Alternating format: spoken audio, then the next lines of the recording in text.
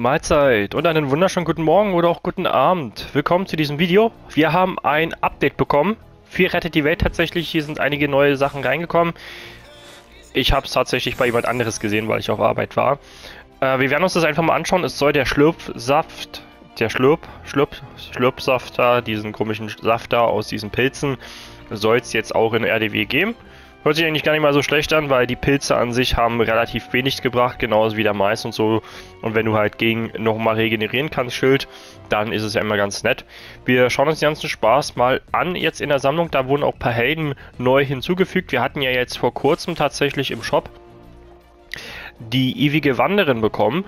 Und jetzt werden wir uns das, wie gesagt, in der Sammlung anschauen. Hier sollen jetzt weitere Helden erscheinen bzw. geben.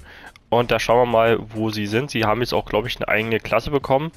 Und ja, werden wir mal schauen. Die ewige Wanderin ist jetzt hier. Wunderschön. Ähm, das sind, wie gesagt, zwei Helden, die wir da bekommen haben. Äh, müssen wir mal schauen, wo der ganze Spaß ist. Und zwar hier. Schräge Helden. Gut, schräg ist ganz nett. Wir haben hier einen Entdecker bekommen. Äh, beziehungsweise, glaube ich, zwei Entdecker. Genau. Wildschirm. Ähm, das ist ja ein Battle Royale Charakter den haben wir jetzt hier auch bekommen. Und ja, es wird wahrscheinlich eher darauf hinauslaufen, das will ich jetzt hier kurz erwähnen, tatsächlich, dass anscheinend das mit den Pilzen noch nicht zu Ende ist. Ähm, wir haben ja, äh, das will ich auch nochmal kurz zeigen, ähm, damit die Leute auch entsprechend verstehen, was ich laber. Und zwar, wir hatten ja vor Ewigkeiten eine neue Map bekommen und anscheinend bekommen wir dort immer noch ähm, hier, herbstliche Gebirgsausläufer ist ja die Map, die wir bekommen haben vor Ewigkeiten und anscheinend wird da gerade auch, da waren ja auch die Pilze gewesen, die großen Ranken, und da werden jetzt anscheinend immer noch Helden rausgebracht. Wir hatten ja, glaube ich, die Herbstkönigin bekommen. Und jetzt kriegen wir entsprechend die schrägen Helden äh, noch dazu, was auch sehr interessant ist. Ansonsten schauen wir uns mal die Fähigkeiten an. Äh, können wir die eigentlich schon erforschen? Nein, noch nicht. Das heißt, es könnte sein, dass sie im Shop reinkommen. Ähm, werden wir mal schauen. Ja, der Elektroschockturm erzeugt einen Strahl zwischen sich und dem Spieler, wobei die Hüllen, die sich im Strahl befinden, alle 0,25 Sekunden 12% äh, Energieschaden bekommen. Als Kommandant sind das dann 30 Energieschaden. Ja, ist sehr interessant. Hierbei muss ich tatsächlich kurz ein bisschen erzählen, ja, das hört sich gut an.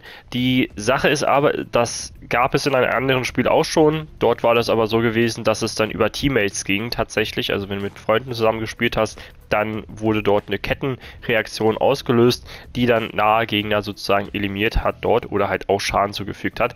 Das war ein Cold War gewesen. Kann sein, dass sie sich da was überlegt haben, dass sie das mit dem Schockturm machen.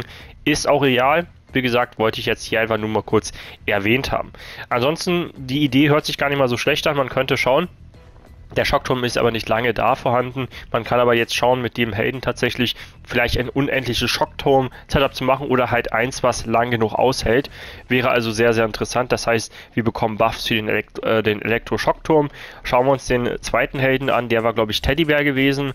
Äh, Teddy erzeugt eine Sporenwolke, wenn er äh, neue Ziele angreift. Schwurenwolken bewirken bei Feinden zwei Sekunden lang Gleitschaden, was sehr schön ist. Im Kommandanten haben wir natürlich die Fähigkeit, ähm, dass das 4 Sekunden lang geht und 50% mehr Schaden macht. Ne, nicht mehr Schaden, sondern verlangsamt. Das heißt, sie kriegen 4 Sekunden lang Gleitschaden und sie werden verlangsamt, die Höhlen. Ähm, beziehungsweise solange sie halt in dieser Sporenwolke drin sind. Also kann man das in etwa so verstehen wie eine Hölzer Wohnstacheln mit einer Deckengas verbunden sozusagen. Ist also eine sehr, sehr nette Sache. Das heißt, man geht jetzt auch hier tatsächlich den Teddybär nochmal einen kleinen Buff zu geben, beziehungsweise dort nochmal was zu machen.